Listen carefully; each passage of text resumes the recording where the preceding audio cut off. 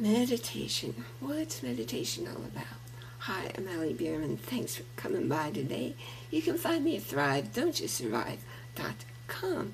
Now, I've been talking to you about consciousness and about the I am being, just being, not doing, not thinking. And the way you get there is meditation, as I said before. Meditation isn't about lowering your blood pressure. It isn't about reducing your stress. Those are byproducts of meditation. They just happen.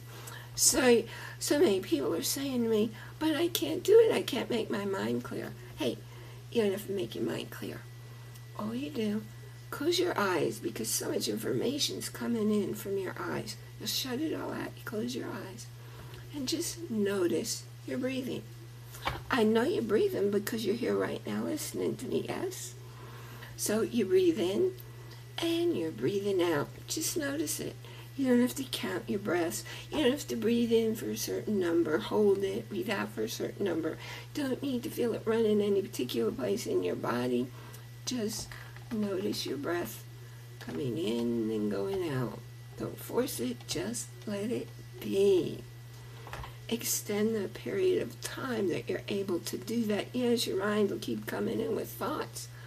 Go right back to noticing your breath and that's how you start to meditate. Build the period longer, and I'll have more information for you later on that topic. But that's your start. I'm looking forward to seeing you next week. Oh, I appreciate your click and like and share. Because meditation, it really is very literally a lifesaver.